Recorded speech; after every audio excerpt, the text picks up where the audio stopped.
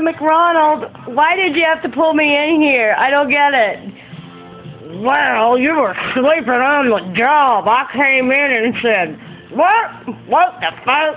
And what's that man, woman calendar thing hanging up in my office?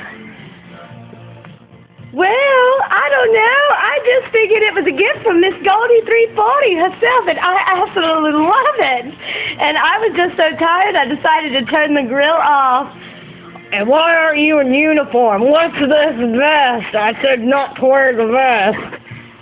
Well, I'm going clubbing later, so I had to bring my weave. I had to get my scarf, and you know the feathers always go with everything.